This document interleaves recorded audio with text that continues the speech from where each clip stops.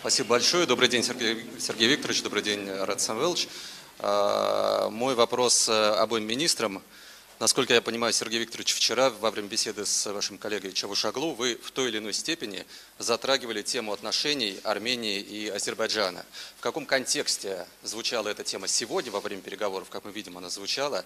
Насколько, в принципе, удается продвинуться в вопросе сближения позиций Баку и Еревана. Вот вы упомянули о возможности мирного, заключения мирного договора сейчас, что необходимо для активизации этой работы, в том числе касательно, конечно, и фактора Карабаха. Спасибо. Ну, мы, по-моему, в наших вступительных э, словах э, касались этой темы. Наши э, лидеры трижды встречались для решения практических вопросов, связанных с завершением конфликта, нормализацией отношений между странами региона, включая, конечно же, э, отношения между Азербайджаном и Арменией. Э, у нас э, есть, по-моему, общее понимание того, что процесс движется. Может быть, хотелось бы видеть темпы более быстрыми, но тем не менее процесс идет и достигаются существенные позитивные результаты промежуточные пока еще, но нет сомнений, что будут и окончательные договоренности мы этому всячески стараемся способствовать. Конечно, у сторон э, есть э, свое специфическое видение, далеко не всегда совпадающее э, в отношении того, как работать на предстоящем этапе, но у всех наших партнеров и у нас самих одинаковое понимание, что три заявления, которые были приняты на высшем уровне, это очень ясная дорожная карта Э, которой мы должны все руководствоваться. И процесс делимитации, э, мы э, очень рады, что такое учредительное заседание двух комиссий, армянской и азербайджанской, по делимитации границы, состоялось. Очередная встреча, как вы слышали, планируется в Москве. Мы готовы предоставлять в соответствии с договоренностями лидеров трех стран консультативное содействие Э, в том числе и э, участие в предоставлении картографических материалов, это очень важно э, для этой конкретной работы. Ну и параллельно существенно продвинулась вперед трехсторонняя рабочая группа под руководством вице-премьеров по разблокированию транспортных и экономических связей. Сегодня мы обсуждали варианты урегулирования остающихся вопросов. Уверен, что они будут в конечном итоге решены. Так что Убежден, что другого пути, кроме полной нормализации отношений, не существует. А, вот то, что вы я, мы все обозначаем условным термином «мирный договор», опирается на предложения, которые были представлены в свое время Азербайджаном. В ответ а, Армения внесла свое видение, и вот с учетом этих двух документов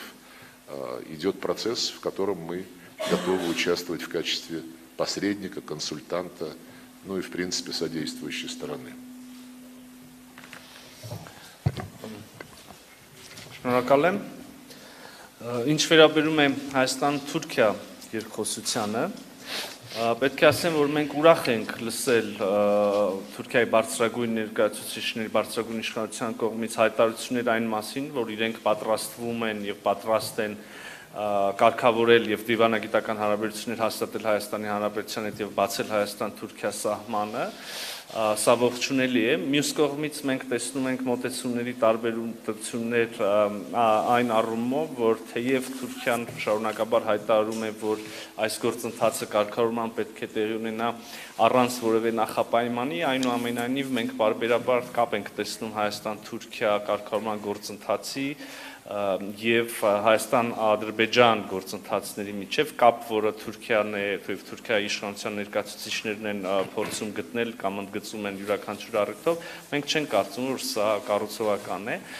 Կան որոշակի տարբերություններ նաեւ այն առումով, որ մենք տարբեր պատկերացումներ ունենք տեմպի մասին, այնուամենայնիվ կրկին ընդգծում եմ ողջունելի է լսել Թուրքիայից հայտարարություններ այն մասին, որ իրենք պատրաստվում են բացել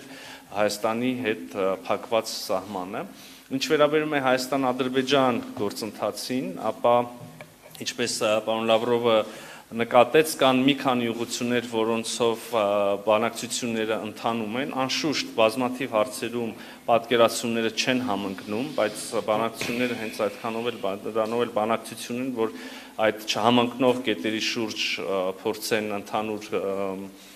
եզրեր գտնել փոխզիջումների տարբերակով մենք հավատում ենք խաղաղության գործընթացին, մենք կարծում ենք, որ Հայաստան-Ադրբեջան հարաբերությունների կարգավորման մեջ հնարավոր չէ չանդրադառնալ Լեռնային Ղարաբաղի հակամարտությանը, չհասցեագրել եւ քաղաքական կարգավորում չտալ այդ հակամարտությանը եւ նաեւ հավատացած ենք, որ այդ բանակցությունը պետք է տեղ ունենա ՀՀԿ Մինսկի խմբի շրջանակներում, սա է այն միջազգային ձևաչափը, որը ստեղծվել է Լեռնային Ղարաբաղի հակամարտությանը խաղաղ քաղաքական կարգավորում գտնելու նպատակով բանակցություններ ընթանում են ինչպես Սերգեյ Վիկտորովիչը ասաց դելիմիտացիայի, սահմանազատման եւ սահմանային անվտանգության հարցերով ըստ էության բանակցություններ ասել թերևս գուցե փոքրինչ չափազանցված է այս փուլի համար, բայց սկիզբը դրված է, մեկնարկը տրված է այս գործընթացի, տեղի ունեցել առաջին հանդիպումը, ինչպես մենք նշեցինք, երկրորդ հանդիպումը հանձնաժողովների կլինի Մոսկվայում։ Նաև որոշակի դրական տեղաշարժ ենք տեսնում տարածաշրջանային տնտեսական առևտրային ենթակառուցվածքների ապաշրջափակման առումով անշուշտ ասել, որ կա լիարժեք պատկերացում սխալ կլինի, բայց նաև ուզում եմ ասել, որ կա դրական տեղաշարժ եւ այստեղ պետք է անպայմանորեն ընդգծեմ, որ հայ ռազմերգերիների եւ այլ պահվող անձանց շարունակական ազատ չարցակելը Բաքվի կողմից, ինչպես նաև մշակութային հուշարձանների նկատմամբ ոտնձգությունները, ինչպես նաև ընդհանուր առմամբ հակահայկական հռետորաբանությունը եւ սադրիչ գործողությունները, որ մենք տեսնում ենք Բաքվից, միայն խանգարում են այս գործընթացներին եւ առիթը օգտագործելով ուզում եմ եւս մեկ անգամ եւ Բաքվի եւ մեր միջազգային գործունեություն գործընկերների ուշադրություն հրավիրել այս հարցերի վրա։